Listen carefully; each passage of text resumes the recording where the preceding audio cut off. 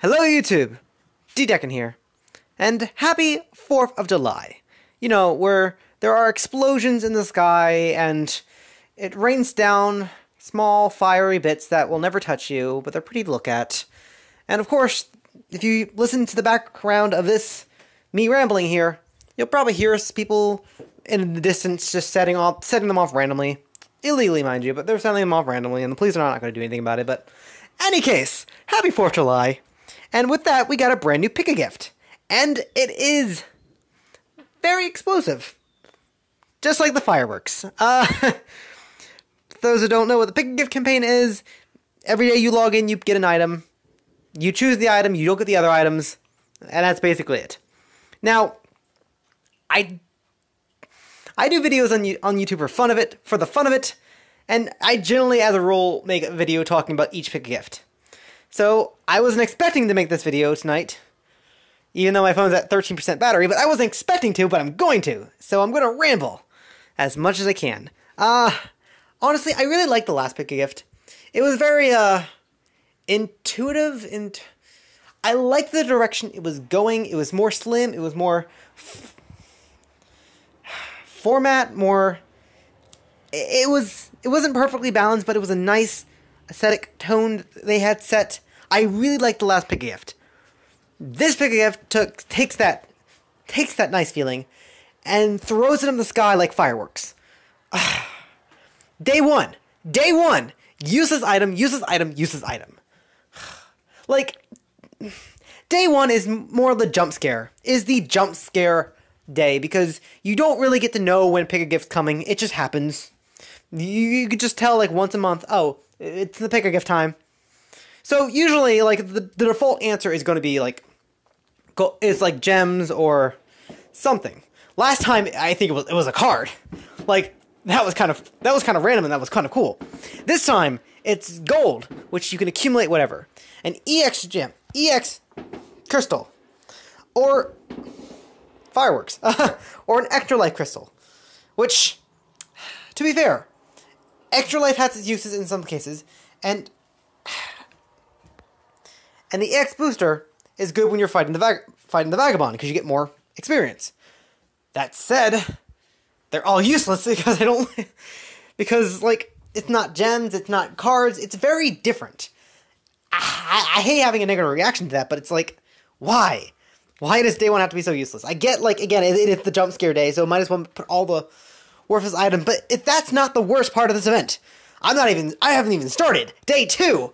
Day two, the other two crystals, plus the rare, plus the uh the rare card, which begins a sort of theme for this event. Apparently, they're throwing everything into this event. They're not caring where it's going. So day two, instead of like it ran the dual crystals randomly being in other spots and sort of making up other options. No, no, no, no. Dual crystals are in day one and two. You either get gold crystals or the la- rare card from last time, which was Lloyd's Poison, which is a pretty good card. I actually probably will pick it up this time because I have no other choice to pick it up at this time. But hey, fireworks. Day three. Uh, day three is kind of a day three is uh. I can't complain too much about day three. Day three is uh the elemental or, elemental jewels, which general thumb, if you don't have a certain number, you pick that. I actually am going to go for the water one, just because I am running a low on water, but that's not as bad. Plus fireworks. But day four, day four, day four makes sense. It's the return, it's the uh, the super rare card from last time, gems, and then a third random item. Day four is perfectly fine. Day four is the best day of this event. Day five, again, is the same thing like day two. You can get gems, or you can, you know, you can get either the earth jewel, the earth jewels, or the wind jewels. You know, who cares about earth and wind? Because you know, earth is just the most popular card type. So obviously we stick against jewels because you know no one's gonna pick the earth jewel, earth jewels. But what about wind? Yeah, screw wind. Yeah, screw him. Everyone's just gonna pick gems anyway. Which you know we are. day six. Pandemonium. Pandemonium has been in the Pick a Gift before. It has been in the card tickets.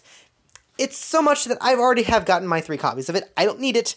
But then again, that card is once again being compared to spell to spell jewels, which I'm gonna go back to, but spell jewels and a rare ticket, which once again is not glossy, but beside the point.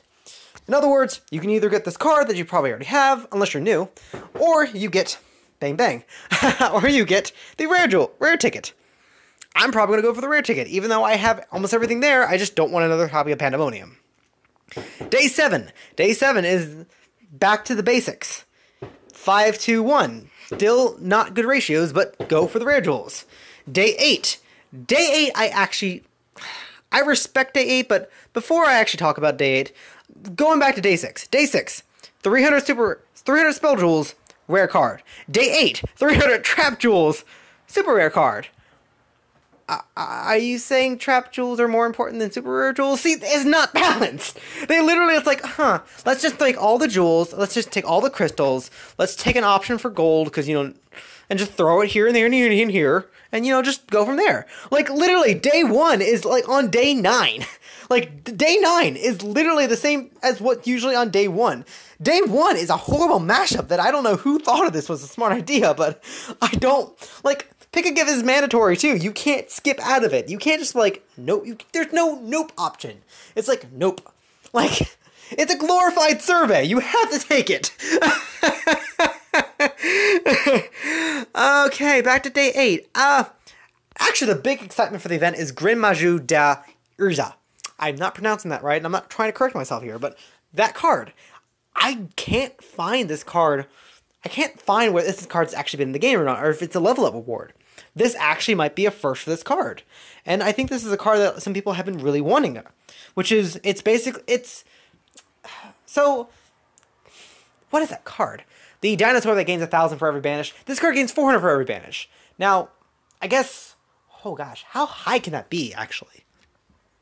Like, you can start banishing things pretty high, but in any event, I actually like new card.